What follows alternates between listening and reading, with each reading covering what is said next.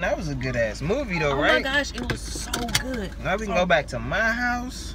I'm I'm sorry, but I'm not sure what type of girl you think I am, but I don't go back to men's houses, okay?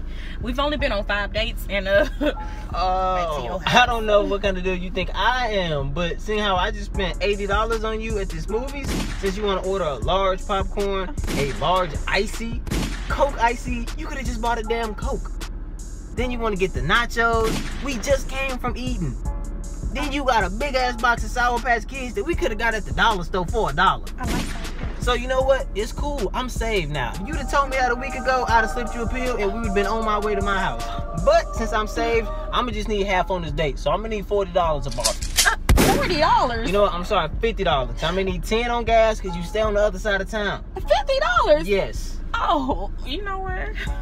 My mama told me not to be messing with was like, I can't. I My can't daddy told it. me about your type though. I can't believe it. You trying to walk or you gonna come come up off that money? My bank uh, around the corner, but um, we no tag. Okay. Young S A V A G nigga.